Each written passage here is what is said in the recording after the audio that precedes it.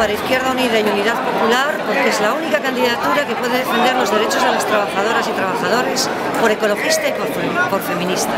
Los socialistas en estas elecciones tenemos que movilizarnos, tenemos que votar y lo que no podemos hacer es respaldar otros cuatro años de políticas neoliberales. Un socialista no puede comprometerse con el partido que reformó con los populares el artículo 135 de la Constitución.